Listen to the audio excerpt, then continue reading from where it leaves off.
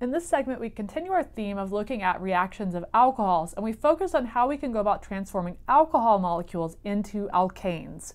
The good news about this segment is the reactions are each reactions that you have seen in some context before.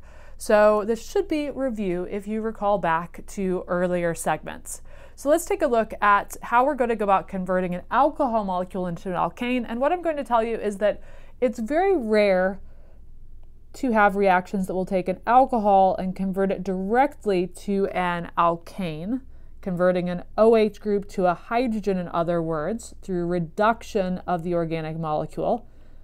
So it's very uncommon to see this occurring in one step. What typically happens is that the alcohol molecule is first subjected to a dehydration reaction to give an alkene, and then that alkene molecule is readily reduced using hydrogenation. So both of those reactions that we've seen before, we are going to review here to illustrate how we can go about converting an alcohol molecule into an alkane by doing this two-step reaction series where we start with alcohol dehydrogenation first by treating with acid such as sulfuric acid to give an alkene and then we take that alkene and subject it to a hydrogenation reaction using hydrogen gas and a metal catalyst in order to give a carbon-carbon single bond of an alkane. So let's look at these two reactions that we do in series in more detail here.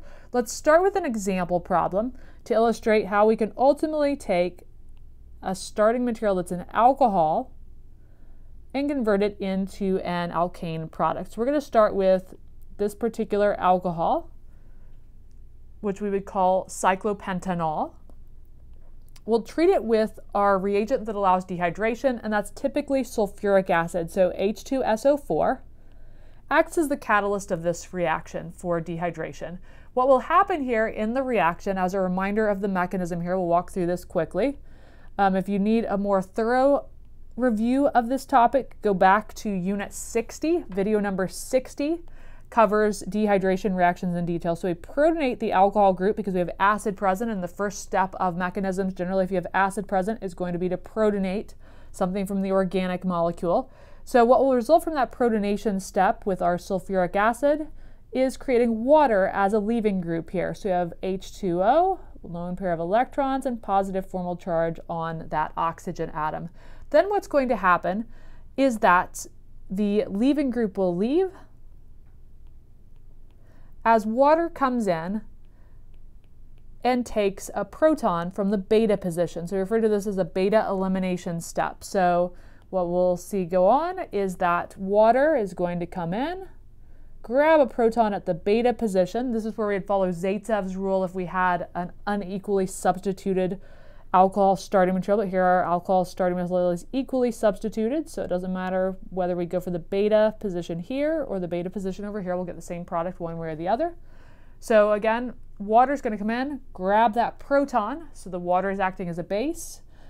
The carbon-hydrogen bond right here is going to break. The electrons from that are going to come down to make a carbon-carbon double bond at the same time as the water leaving group leaves. So the purpose of the protonation here was so that at the leaving group leaving step, we are breaking away water, which is a relatively stable product of this reaction, rather than trying to break away OH minus, which would be a relatively unstable product of this reaction. We'll go ahead and fill in then our carbon-carbon double bond that results from this, giving us our final product of our dehydration reaction. So everything that we've just looked at here, we would describe as the dehydration portion of the reaction.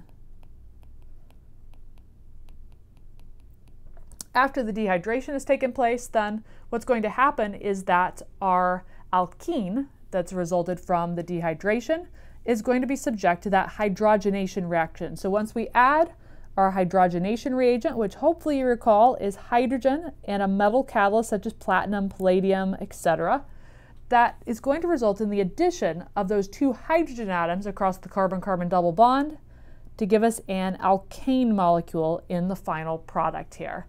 So that is our way to go about taking an alcohol starting material and creating your intended alkane product. And we would describe this as certainly a reduction reaction overall in this pathway because we're lowering the number of carbon oxygen bonds in the molecule and we are increasing the number of carbon hydrogen bonds in the molecule, thereby qualifying this as a reduction through the two step reaction starting with dehydration and then continuing with hydrogenation or reduction.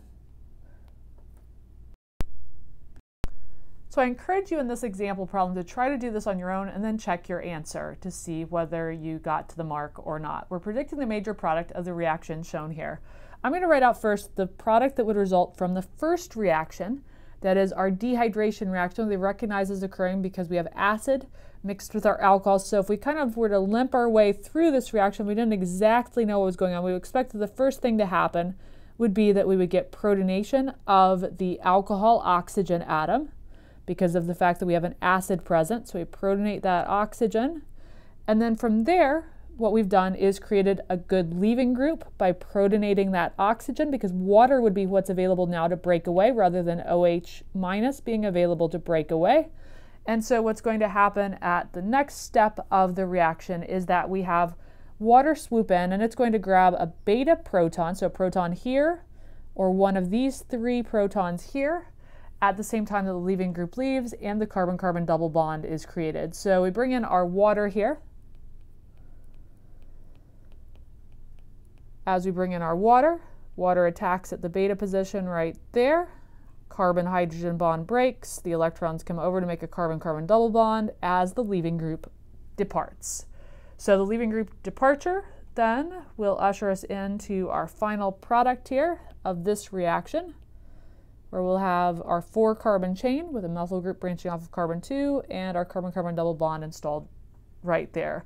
And keep in mind that here we are following Zaitsev's rule to do this elimination step in that we are taking the hydrogen atom, the proton here, from the carbon atom that's going to allow us to create the most substituted final alkene product. If instead we took the hydrogen atom over here, that would result in the carbon-carbon double bond going right here, which would be a less substituted alkene than the option that we've gone with. So we want to create the most alkyl substituted alkene possible, which is what we've done there. So our product resulting from step one of the reaction is going to be this guy.